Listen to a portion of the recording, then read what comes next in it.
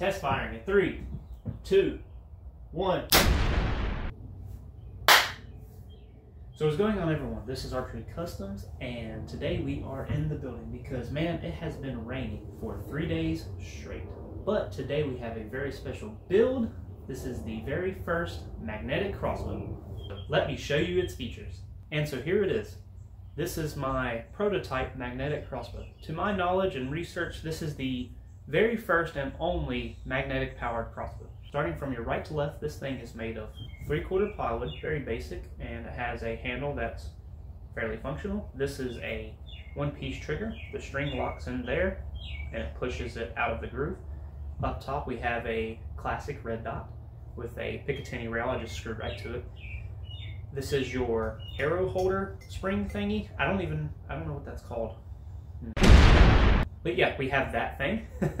and then we have the limb and magnet. So in order for this to work, the limb has to be made entirely of metal, otherwise the magnets would not attract it.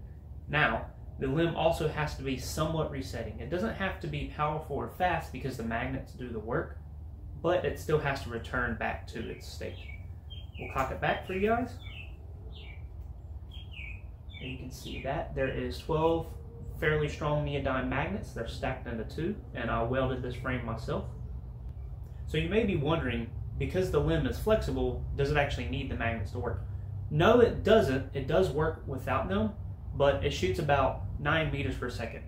With them, depending on the configuration, because you can change them and it changes the speed, and with them it shoots 14 meters per second. So you're looking at 5 meters per second increase.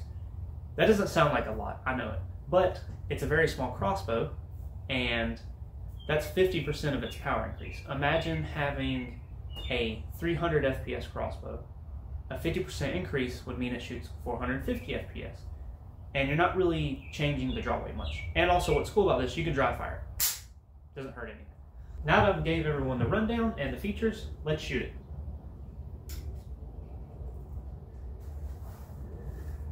Color pencils? what else would it shoot?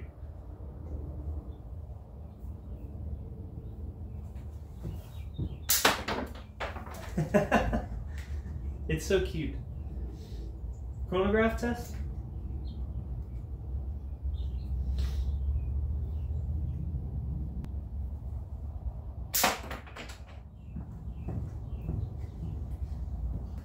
Show you guys a close up of what I see. Now that begs the question where do we go from here? The world's ending. I'm trying to film a video and the literal world is ending.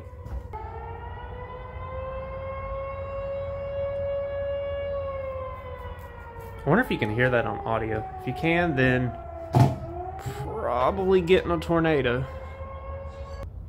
So in spite of the world ending, let's try to continue filming this video. So, alright, what was I going to say? Although this crossbow is fairly weak, it is actually highly efficient. What I mean is the draw weight to speed ratio is fairly high. Now, that begs the question, where do we go from here? Well, this is Archery Customs, and we have to ramp it up. So here's what I plan to do. So I plan to use electromagnets. So take a compound crossbow for an example. The string that comes off the module, you can attach it to a piece of steel and have a magnet to where you draw it back with no draw weight and then the magnet pulls the limbs in as far as you need. You could have a three or 400 pound crossbow with no draw weight. Obviously this is built for the future, maybe within the next month. I gotta see where I can source the magnets and how to build the stock because it's gonna get kind of complicated holding magnets. But anyways, that's it for this video today, guys. Like, comment, subscribe, you know, whatever. Last shot. Holy crap. All right, thanks and goodbye.